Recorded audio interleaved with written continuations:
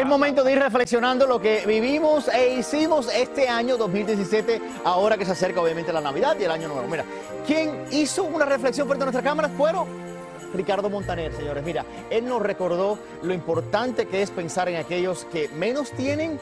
Además, nos reveló que vienen campanas de boda para alguien Uh. en su familia. ¡Ja, ja!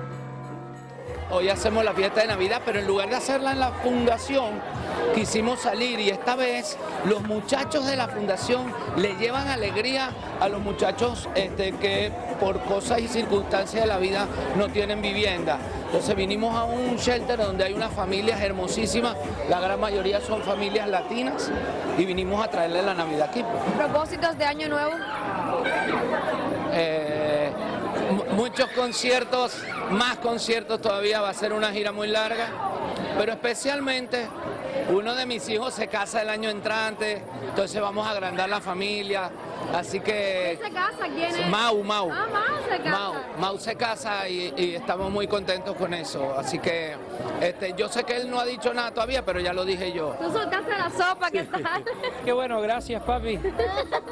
Él, si- él sigue anunciándolo cuando en realidad no era anuncio de él, pero bueno, yo lo quiero y, y pues sí, estoy muy contento. Yo estoy muy feliz con ella, entonces, ¿Qué tiempo llevan juntos? como cuatro años y medio. ¿Cómo fue la propuesta de matrimonio? ¿Romántica? Fue muy- sí. ¿Y lloraste, mamá? Lloré, sí. Sí, lloraste. Lloramos todos, en realidad lloró toda la familia, fue muy bonito. Hasta mi hermano, Ricky fue el que más lloró de todos. ¿Cómo tú, como la esposa de Ricardo Montaner, eh, has llevado a esta familia adelante, unida? Porque tiene una carrera bien difícil. ¿Cómo le has hecho? Mira, cuando me preguntan cuál es el secreto de... Ese secreto se llama Jesucristo, no hay otro. Esa es la, el, como la amalgama, es la roca. En eso estamos fundamentados nosotros. Los Montaner funcionamos gracias a él. ¿Cómo ha sido él contigo, con los muchachos? Como un tipo fantástico, fantástico. Porque él es artista de la puerta para afuera. De la puerta para adentro es papá, es esposo, es solidario, es divertido, es un tipo divino. ¿Cómo estás lidiando con toda esta fama que te está llegando a la vida? Porque en México te entró como una ansiedad cuando muchísimos fans llegaron a ti.